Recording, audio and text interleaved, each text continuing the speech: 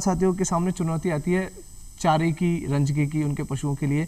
तो अभी बहुत ज़्यादा प्रचलन में है नेपियर ग्रास यानी कि नेपियर घास जो बहुत ज़्यादा प्रचलन में है अभी। और किसान साथी इसका किस प्रकार से फ़ायदा ले सकते हैं किसान? इसका संक्षेप में हमें बताइए थोड़ा सा किस प्रकार से इसे इसकी उगा सकते हैं इसकी सहायता किस प्रकार से ले सकते हैं और कैसे फ़ायदेमंद है? आपने बहुत ही सही समय पर सही किसान भाइयों की तरफ़ से एक जवाब पूछा है। जी।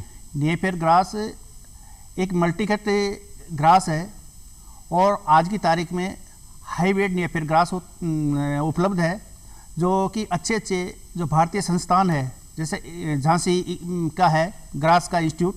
जी। उसके द्वारा भी डेवलप की हुई है। कोयम्बटूर इंस्टीट्यूट के मार्फत भी डेवलप की हुई वेराइटीज़ है।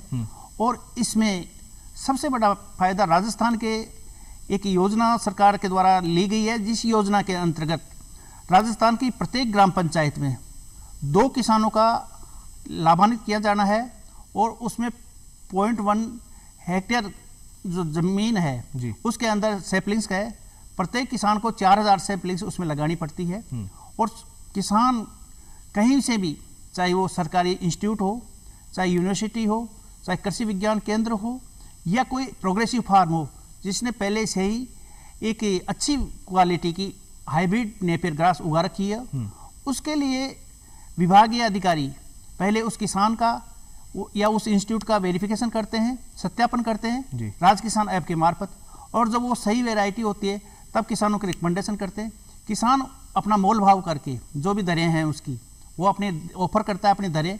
और दरें किसान उन दरों पर वहाँ से ले सकता है। और उसके बाद में किसान के खाते में डीबीटी किया जाता है। इसका एक कमेटी बनी हुई है जिसमें सहायक कृषि अधिकारी और वहाँ का कृषि प्रवेशक वो उसका भौतिक सत्यापन करते हैं राज किसान ऐप के मार्फत। और जब वो होता है तब तो उसके खाते में डीबीटी कर दी जाती है। इसका फ़ायदा यह है कि राजस्थान के अंदर पिछले दिनों में देखा गया है कि किसानों को बहुत ही चारे की समस्या होती है और साल भर चारा नहीं मिल पाता है। और चारा भी मिलता है तो वो सूखा और तोड़ी वगैरह मिलता है लेकिन इस नेपियर ग्रास में साल भर किसान हरा चारा ले सकता है। चारा ले पाए। एक फ़ायदा यह है कि एक बार किसान ले लिया लगा दिया तो उसको छह सात साल तक दोबारा लगाने की ज़रूरत नहीं होती है। और वो होती रहती है हर बार में उसकी फुटान होती रहती है। जी।